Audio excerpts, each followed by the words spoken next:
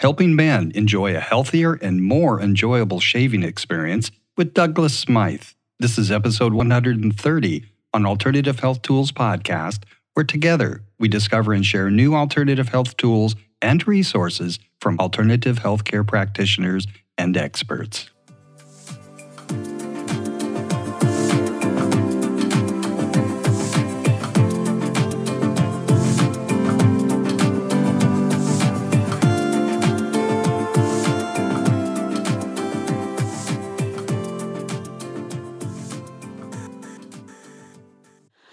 Everybody. Welcome to Alternative Health Tools. This is your co host, Kim Shea, and I'm talking to you from this side of the pond here in Southern California. And today is Tuesday, March 9th, 2021. I have the privilege of speaking with Douglas Smythe today. He is the co founder of Phoenix Shaving. And from a health perspective, how we shave is really affects our skin and how we feel about ourselves. And and this gentleman just seems so cool and his products are so lovely. I wanted to talk to him. So, welcome, Douglas Smythe. Thank you, Kim. It's, it's really nice to be here. Thank you. Can you tell me about yourself, about your background? Uh, well, geez, um, it's it's kind of a, a, long story, but we'll, we'll start it anyways. We got time. Um, uh, yeah, right. I guess we do. Well, I originally uh, grew up in, was born and raised in uh, Massachusetts, and after college, I moved down to Central America, and kind of on a whim. I didn't know anyone down there in Costa Rica and I didn't know the language. And everyone that I knew thought I was having a breakdown or something like that. They were like, "What are you doing down there?" I was like, "I just want to go down there and live." Like, what? They did, couldn't wrap their mind around it. And uh, I didn't even have a place to stay when I got there. I ended up staying in a hammock in the the rainforest at the on the on this beach in Montezuma, Costa Rica. The weather was just perfect, so I could do that, and I did that for about four years. The first two years, anyways. The second two years, I actually started the graphic design business down there. But in my time there on the beach, I created this afterbite solution because I found myself getting bit between the hours of 5 and 6 p.m. every day on the beach. Sand fleas would come out and make me their dinner. And uh, there was nothing to really treat them with where I was living, no, no afterbite type solution. So I had to create my own. And I did with the chemicals that were available to me in the local pharmacies or pharmacias down there. And I created this product. Well, it wasn't a product at the time. I created this solution at the time called, I was calling it Ichno Mas and it was so effective. I had locals as well as other tourists knocking on my tent flaps to get themselves some you know, while swinging in my hammock, I was thinking, daydreaming more, more than anything else, that if I ever made my way back to the United States, I would produce this stuff and sell it. And it really was just kind of a, a joke. But that's exactly what happened. When I finally returned to the United States four years later, I came back to a whole different United States. I came back to an Etsy world um, where finally the playing field was leveled and you could create your own products and sell them online. And it was it was so much easier than when it was back in the day. And that's exactly what I did. I created another product with it called stink no Stinknomas, which was an emergency insect repellent slash deodorant. So as you wore it and sweat, your body heat would release the essential oils into the air that would actually repel the bugs. And that actually did better than Ichnomas. But I just did that for a few months and it, it, it took off. It took off really well. And I, I you know, but what I found was I was losing more money on shipping than anything else. So I decided to turn my attention on the United States. And that's how Phoenix Shaving kind of was born in a nutshell, anyways. That's really cool. Are those products still available, or do you sell? No, no actually, okay. well, well, the Stinknomas, it's it's now called Outdoorsman's Friend, um, and we do sell it in the summertime. We do seasonal products too. So in the summertime, when the bugs are out, we tend to sell that, but it's not a year yearly offering. Okay, that's really neat. That's neat. You invented that. And so, is your background in chemistry at all? it's not actually. Um, oh. I but I did. Ha- you know, I actually, created my first perfume when I was about eight years old with a chemistry set that my parents had bought me. And uh, in fact, my mother still has it. It's a rose perfume. I don't know if that tells Aww. you how good it was, but she does still have it. And um, yeah, so I was always interested in that, interested in, in, essential oils and fragrances. It was always big for me. And uh, I'm just a creative a creative, I guess you would say. And so I've always like, you know, put slap stuff together. And that's why when I came back to the country and found or discovered Etsy, which we're not on anymore, but at the time it was like, it was such a shock. It was like, all those ideas I've ever had, I could finally put, you know, test out and see if they really, if there's any traction there. So yeah, I think I'm more inventive than I, you know, than a chemist, but um, that's just how it is. And then my girlfriend is the co-founder of the company as well. She's an act, well, she was an acupuncturist for years, and that's that was her bread and butter. But our company just it took off really, really fast. Before we knew it, we we were on everyone's lips, and uh, everyone around the world wanted our products, and here we are. Well, you have a beautiful website, and all the products Thank on you. there look like they're pretty enough just to leave out on your countertop because they're really neat looking. You have a product called CK6. That's like your your deluxe. It's a formula. Yeah, it's a Product. deluxe f- shaving formula. And is that is that ve- vegetarian or vegan? What? It's it's vegan. It's vegan, I'm okay. vegan. Uh, so I've been vegan for 20 years. So we try to make all of our products 100% vegan. Oh, that's awesome. That's Yeah. cool. There are a few with honey in them. So I mean, but I I, I give honey a pass for other reasons. But uh, Yeah, me too. yeah, okay, good. Yeah. Partly due to the fact that I don't know if the bees would still be here if we weren't domesticating them and taking care of them. You know. oh, that's an interesting So- perspective. Okay, I haven't thought Yeah. about that. I just figured Yeah. it was enough to share if we're nice about it. So. for next week. yeah so they look they look very luxurious um, so for men i would think this would just be very desirable and that is a question i have for you because your products are all geared towards men can women use these products too like on their legs Yes. because some of that stuff just looks so nice Oh yes, uh, we do. You know, we actually had a women's line uh, about five years ago, and the thing is, the market just wasn't there yet. Women haven't really moved over to traditional forms of shaving. It'll happen; it's coming. But when we decided to introduce that line, it wasn't there yet. So we just kind of made a few unisex type scents that, if women are interested, they st- they can pick these stuff this stuff up, and it will work for them, fragrance wise and whatnot. But yeah, I mean, it is geared towards men, and you know, I mean, we have a whole retro thing going on. So I, I guess it's any person that's into sci-fi and retro culture and whatnot, and like the atomic age would enjoy our stuff. You know, visually. Uh, we also have an you know an ongoing story. We have this universe we've created around our products with different characters on the labels that come and go. Some of our sales pages are continuations and stories that you have to you know you have to find the other story on the other sales page, and it's like it's really involved. And we have a cult following of men and women. So it, while it, it seems to be a man's world when it comes to traditional shaving, there are women uh, that love our stuff as well. yeah i could see why the story is at the hotel cecil Oh, that's part That's of it. There is yeah, That's part of it, That's a continuation. There's a yeah, there's a part in the story. It's just an ongoing saga, and there's one where I'm being held captive at the Hotel Cecil, and that came out last Halloween. So it was just thematic with that. In fact, we it was only supposed to be a seasonal scent, but then I guess Netflix recently released a documentary series on the Cecil Hotel. And so we were getting requests to bring it back. And so we did, you know. And with that actually came a booklet. I wrote a small like novella that you can also get with Yeah, the, the purchase of the, you know, so it's a story. You can get an ebook of it or the physical book. Uh, we had hotel keychains that were also bottle openers. So I mean, was- we try to make it like a really uh, immersive experience. So it's more than just shaving. It's more than just male grooming. It's more than just grooming in general. It's this whole just experience, like that feeling you get at the movies when you go to. Remember going to the movies? long time ago yeah right. As the lights dim, that like anticipation you get right before it begins, like that kind of excitement. That's what we try to recreate with our products and make it more than just a daily chore. I like that. I like that very much. And, and I, I'm not trying to complain about do you have stuff for women because women have a lot of options out there, a lot of different product lines that are very luxurious and very pampering. So I think it's, It's nice that true. you developed something for men. Well, you know, we finally we've given men permission to talk about these things that in the past we just haven't been able to. You know, and uh, so yes, well, it, it, for the first time in history, our stuff in the bathroom take up more space than the women's. I mean, our customers buy like all the different scents, fragrances, different brushes. They own them all, and like that's the one big complaint they get from their significant others half the time is, "Why do you need all this shave so much?" Because it's So it's like payback. cool, right. yeah. Yeah.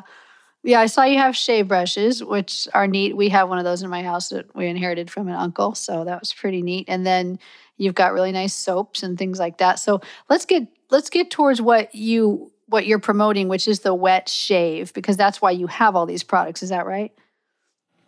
Yeah, and that term can often be confusing. Uh, typically, when I speak somewhere, I ask how many people are wet shavers here, just to see what the reaction is.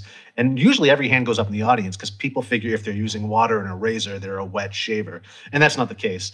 What we call wet, what we consider wet shaving in the industry, is using traditional tools like a safety razor or a straight razor, a brush, and a soap puck. That usually constitutes wet shaving. Uh, but again, it's a confusing term. We should just call it traditional shaving, if you ask me. But I got to go with what we got Okay. out here. And uh, so that's it. And we're trying to move people away from using cartridge razors and multi-blade razors that we've been using for the last, you know, 40 years. Uh, pretty much sold a bill of goods. The only reason why cartridge razors or multi blade razors ever made their way on the market had nothing to do with a better shave or a high quality shave. It was just that Gillette was losing their patent rights for double edged blades back in 1970, 71. So they needed to create something new. And that's what they did. And they went from a multi million dollar company to a multi billion dollar company overnight with the introduction of cartridge razors and multi blade razors. But with that came ingrown hairs, razor burn, razor bumps. These things never existed before 1970. And with that problem, they also created the solution of these different balms and moisture to use to yes to treat that. If you look back in history, uh, historic photos, even jazz musicians, you won't see any bumps on them, any razor burn or anything like that. Nowadays, you look at guys, they got bumps, they have razor burn. It's all caused by multi-blade cartridges or multi-blade razors because you only really need one blade to shave your face with. Anyone who tells you anything else is just trying to sell multi blades because with every blade you drag across your face, you're taking off a layer of skin. So the more blades on that razor, the more skin you're taking off, the closer you're getting that hair cut. And uh, it's just begging to be an ingrown hair to drop below the skin after the shave. So yeah, we've been inadvertently hurting ourselves. And I think, you know, I have a beard right now because of COVID. I haven't been to the barber in you know a year, but typically I'm clean shaven. And uh, but this beard fashion that you see of the last ten years, I really think it's a response or a byproduct of cartridge razors and multi-blade shaving. Most men, if you ask them, say they hate shaving, and it's only because they're using those one-size-fits-all razors, and again, inadvertently giving ourselves horrible skin, a horrible shave every time. You can't use the same razor on everybody's face. We all have different uh, whisker quality, uh, un- unique skin conditions to deal with. And that's the thing with traditional shaving. You can finally customize the shave to your own unique face by using different types of safety razors and different types of blades. There's over a hundred different DE blades brands that you can choose from and try out, which we recommend because they all shave differently. The edges are all differently. So that different brushes, different soaps, different aftershaves. So you, with all these different components, you can finally customize that shave to treat your face, and you'll actually fall in love with the process once you do. And another thing, multi-blade cartridges, as you know, over the years, the prices have gone up and up and up. Where four blades four cartridges cost you like $25 mm-hmm. which is ridiculous uh, so much i mean i remember being in college i would make one cartridge last for months before i changed it and like so i'm using this disease thing on my face you know just, you're asking for problems there whereas double-edged blades such as you use in a safety razor you can get a hundred of them for nine to fifteen dollars if that tells you wow anything. quite the difference yeah so i mean granted there are there are shaving clubs out there where they'll charge you you know lower prices but at the end of the day it's like they're still selling you cartridge and multiplayer. They're still selling the wrong tool for the job. So that's why we're trying to push people over into using uh, safety razors and straight razors instead of these one size fits all plastic cartridges. And aside from that, uh, this, these are heirloom pieces. You know, you can pass this down to your son, your it's children's children, so on and so forth. Razor. Whereas cartridge, thank you, cartridge razors, they're just filling up landfills and so is the you know the the goo in the can we call it those empty aerosol cans are filling up the landfills as well uh, using a soap uh, and a brush safety razor it's better for the planet it's better for your face and it's better for your wallet at the end of the day too so it's really a no-brainer that's great that's these are you're raising some really valid points i know um, in the women's shaving there are these cartridges you can buy and they've got these strips of like gel on the right. and it, the, the moisturizing yeah, strip. and first of yeah. all, the razor has what a hard time reaching your skin because it's it's below these strips which are just in the way. And so I'm imagining you're getting a really very close shave with what you're selling. Yes, and so much and women actually love it as well because they don't have to shave as much when they use a safety mm-hmm. razor because it's a closer yeah. shave. That's neat. Tell me about how you go about it. What is there a different method of shaving? There is. Um, you know, I mean, it's interesting with cartridge razors and multiple. I, I was never really taught how to use a cartridge razor growing up. My dad used a safety razor on the weekend, so I would watch him do that. But cartridge razors, I kind of had to figure out on my own when I was in like high school. They they mail them out to the guys. When you turn 18, you get one in the mail, and it has to do with the civil service. Once you Gillette was somehow in cahoots with them that you would get one in the, in the mail, so they get you right there when you're young. And with that, you you you know you rub the lather on your face and you do one shave, quick shave, rinse off, and you're gone. You're, you're good to go. But with a traditional shave, there's multi passes that you do because it's not about taking it all off with one pass. It's about reduction, hair reduction with each pass. And you got to keep that in mind. Most people try to shave and take it all off in one pass, and that's where you're going to run into trouble too and damage your skin. So what you would do is, well, you take the brush and the puck of soap, You wet the puck of soap. I put a little bit of hot water on it, let it sit for about five minutes, and I hop in the shower. Uh, when I come out, dump the water off the puck, wet the brush, and I, we call it loading the brush. So a few swirls on top of the soap, and then you can build the lather in a, in a mug after the fact, or you can build the lather right on your face. I choose to use, you know, do it right on my face and uh, cut the middleman, if you will, the, the mug. Then from there, I do my first pass with the razor, which would be with the grain. Um, and then pretty much rinse and repeat. After the first pass, all around the face, rinse, re lather again, and now I go across the grain. Then rinse and repeat, and go the other way across the grain with the third pass. And then if you still need another pass, you would do the fourth pass against the grain. And I know that sounds taboo when you say against the grain, but again, this, this that whole theory, that whole concept comes out of the early 70s and that switch to cartridge razors. Because with safety razors, they never talked about against the grain being evil. You can go against the grain with a safety razor and with a straight razor as well. And so yeah, then you would go against the grain. However, with them, you know, with your face, hairs grow in all different directions. So it's really about learning the pattern that your beard grows in and keep taking that into consideration when you're doing your against the grain pass. It might not always be up. It's just going against the growth, you know. So you have to take that into consideration. Lastly, a lot of guys uh, will chase a baby butt smooth shave.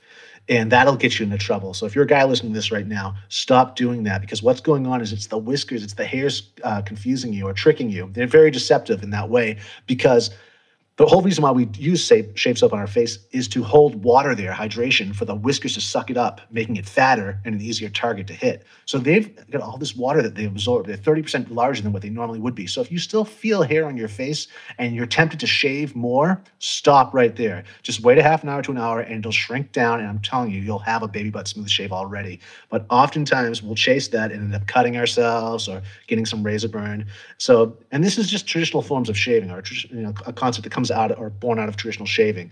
And uh, once more, we're not taught this. So it right there, you're gonna your skin's gonna regain equilibrium, regain balance, and it's gonna look a lot better once it heals.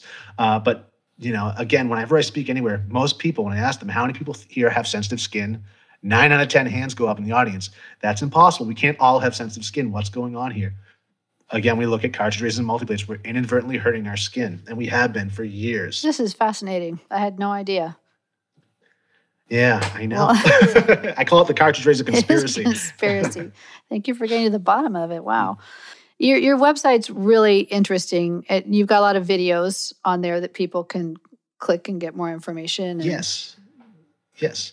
In fact, um, if if you're listening right now and you want to watch a video on how to traditional wet shave, just go to howtowetshave.com. And I'm right there showing you how to do it. And um, I try to keep it fun at the very least. In fact, we have a, a, a, shaving show, a morning shave show, which isn't what it sounds like. It's more in line with like Car Talk from NPR, where if even if you're not interested in shaving or interested in learning about cars, you'll still listen because it's entertaining. It's the same thing with our show. We cover history, collect collecting, because we also collect vintage razors as well. You know, we do it all. It's kind of like Wayne's World meets Car Talk meets Antique Roadshow all lumped into one. That's called I'd Lather Be Shaving. And you can find that at, at I'dlatherbeshaving.com. And uh, highly entertaining, but you'll definitely walk away knowing a little bit more about traditional shaving, which sounds crazy, I know, but it's it's very interesting once you dive into that. That sounds awesome. It sounds wonderful. So, I noticed like um, you also have a video on how to make manly dryer sheets. Or are you saying like spring meadow dryer sheets are not manly enough for you? Is that what you're trying to say? I know, right? yeah, for the most part, okay. yes. Yeah, I try to. I'm like the Martha Stewart of of traditional shaving. I I do tips, tricks, and hacks videos as well. I have my own uh, channel too called Douglas Smythe Channel dot com and it's always like these wacky like you know hacks and tricks for a better shave or just grooming things and that was one of them because um, you know when you start when you get involved in the shaving world or in the fragrance world you want you know that same scent in everything you know in the shampoo and the soap but you don't want to you know screw that up and so i thought well what, what, what's an extension of that and it's you know perfuming your clothing and what's the best way to do that is dryer sheets and rather than using those chemi ones that they sell in the stores you can actually make your own all natural oh ones. i'll have to look that up i i know with this yeah watch okay i'll I definitely check it it's out. in my blog on my on okay. my site actually all right. so uh, yeah, yeah i will look at that i know sometimes i've picked up lavender things to put in the dryer to make the clothes smell better. But yes. then I feel bad for yeah. my sons as they're going off to school and work. I think, ah, maybe this isn't a good fragrance for them. So the fact that you could make your own, that's really neat. Guys do love it though. Flor- lavender is really making a comeback right now, and it's also you know it's great for pillowcases, very soothing yes. at night. It helps you fall asleep.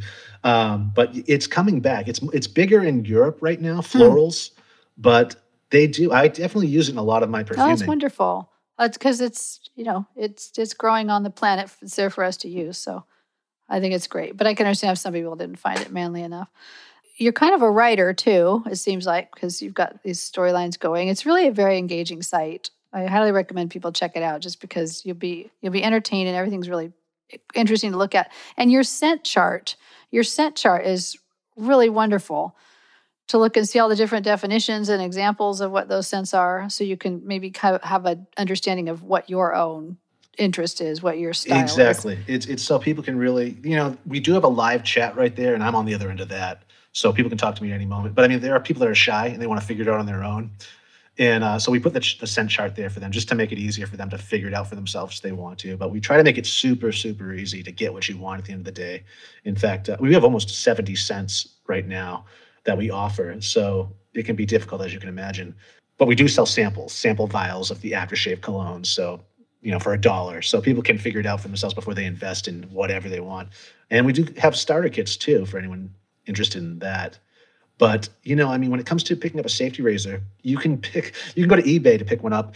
Uh, a 75-year-old vintage Gillette or whatnot uh, that will shave just as good today as it did 75 years ago when it came off the assembly line. And that's what I'm saying about these things. They're built to last. They really are. It's it's it blows my mind that we didn't get back to this sooner. And we only have the you know the advent of the internet really to thank because for a long while it was very difficult to find these things and then find the blades the replacement blades. They really did their best to kind of do away with them and bury the whole concept but it's the way to go. Well it sounds like it is and like you said it's good for the environment it's good for your health it's also a nice treat for you to not have it be such a chore and to have a nice shave. Oh it's yeah that will last a little It- it longer is, it's very soothing. It's very therapeutic in the morning. It's time to yourself, and it's, it's hot lather. There's nothing. Guys have com- uh, compared this to green tea ceremony. It's so like I mean, it's really there's a Zen element to it. It's time away from the kids, your family, whatever. You're taking care of yourself. You're pampering yourself. It's very tactile. I mean, this is something that guys didn't. We, we just couldn't talk about. We couldn't really get into before. We you know you had to maintain that that that, that guys, that tough guys, if you will. Uh, whereas now it's really like this returning to this like other side this pampering. And uh and again it's grown. There's forums there's communities. I throw a conference every year called the big shaves west.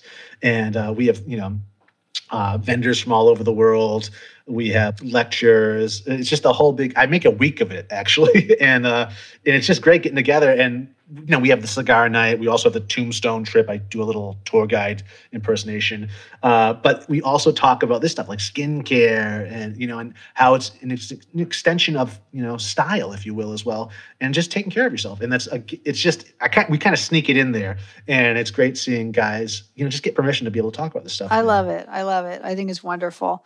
Um, can you tell me about aftershave? Is that basically just something that makes you smell good, or is it does it actually have a medicinal value for your skin? Oh skin? yeah. Traditionally, aftershave, the only reason why it was ever used was for an antiseptic, because back in the day, people were dying from shaving, Oh. from going to the barber. Yes, in fact, uh, Henry David Thoreau's brother. The reason why Henry David Thoreau went to Walden Pond was he was mourning the death of his brother not know that. who Oh. died from an abscess on his face from the barber. So that's why we use aftershave as an antiseptic first. Uh, the fragrances is totally an afterthought, and that's why traditionally back in the day, the fragrances usually only lasted about 30 minutes. We, on the other hand, today, uh, we add loads of skin food to ours, as well as make it a little more potent. So we call it aftershave cologne. So it's like a two for one. It has you know all the great skin food is of a traditional aftershave with the staying power of a, a cologne.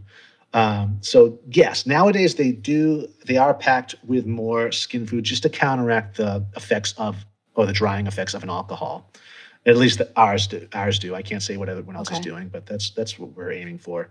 Okay, and you have a lot of those on your site as well, right? Yeah. Yes, we have, you know, for every soap, we have a matching aftershave. We also do a, an aftershave gel too called Star Jelly. And it's kind of like if, I don't know, aftershave balm and a traditional aftershave had a baby, it would be Star Jelly, which is like gel with a little bit of alcohol in it. So you still get that dry down feeling of a traditional aftershave, but it's more soothing to the Oh, skin. nice. Wow. yeah, it, it is nice. Well, nice. I would like it very much if you would come out with a women's line because I'm very envious. yeah. But for my sons uh, and my boyfriend, I think this is just wonderful. It's a wonderful product. So, is there anything else you'd like us to know? We'll put all the links for your um, your different sites on the show notes. So you've got uh, if you if you are listening and you'd like to go check it out, it's phoenixshaving.com. And then we'll also put the links for how to wetshave.com and douglassmythechannel.com and I'd ra- I'd lather be shaving.com. We'll put all those on the show notes as well. But is there anything else that you would like us to know? I think that's really it. I mean, just you know, for your listeners to know that I'm a, I'm around all the time. I'm, I can talk about this stuff all day. So if you have any questions, concerns, suggestions, anything like that, you can email me Douglas uh, Douglas at phoenixshaving.com or contact me through my site. We have you know a few different ways of contacting us, but I'm always always around to talk about this and, and help you figure it out because it can be rather overwhelming.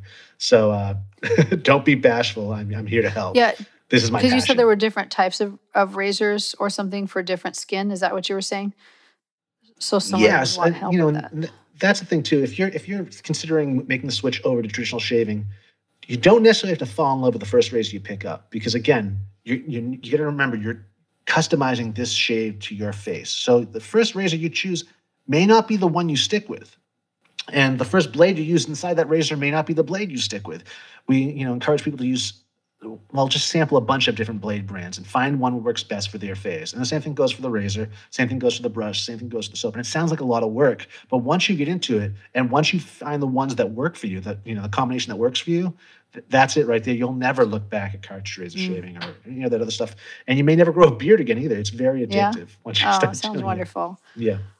And late, for the ladies as well, we do have a lot of unisex scents. So if you're listening, again, contact us and we'll give you a list of the scents that women love as well. My girlfriend, she uses a bunch of our scents. And in fact, some of the manlies are what we one would consider manly scents. She uses too. She thinks they're great. So yeah, there's loads of stuff for women as well. Don't let the labels uh, throw you off. Okay, thank you. And after all, a scent comes from the world, and there's lots of things that people are attracted to, different scents. So, like you said, lavender is coming. It's true. back. It's called parf- perfume. Yeah. At the end of the day, guys don't like. We call it cologne and stuff like that now, but it's always been perfume since day one. All right. Well, thank you so much for your time, Douglas. I really enjoyed talking to you. This is great. And uh, check out his website if you haven't done so. You're going to love it. Thank you. Thank you, Kim. Thank you, Kim. And for those of you who are listening, thank you for um, listening to Alternative Health Tools. And you can catch this podcast anywhere you get your podcast. Please consider coming by alternativehealthtools.com and leave us an audio message. There's a little blue circle with a microphone in it. You can click it, say hi, ask a question.